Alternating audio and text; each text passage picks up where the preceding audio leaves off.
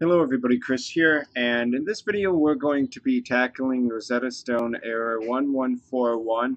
Uh, as you can see from the support forms, one of the issues that this can uh, occur as a result of is the date or time on your computer being incorrect.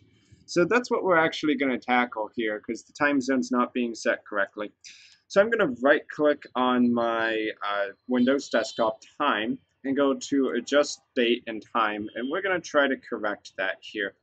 So set time zone automatically. Um, I will change that to my current time zone actually. So I think we're looking for plus 7. Yep, there we go. Hit uh, on to set time zone automatically. Hopefully the next time that it tries to set it, it'll figure things out. But here I've changed it to the current uh, time zone.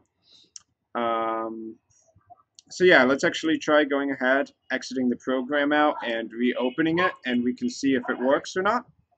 And we're still getting it, so I'm going to go ahead and reboot my computer really quick. Alright, so the computer's rebooted, so I'm going to go ahead and boot up Rosetta Stone again, and we'll see if it's able to work.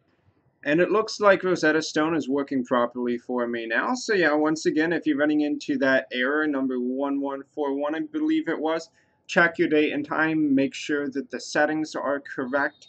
Uh, another thing I would mention is that make sure you're not behind a VPN, a virtual private network, while you're trying to use Rosetta Stone. That might mess with your IP or your time zone.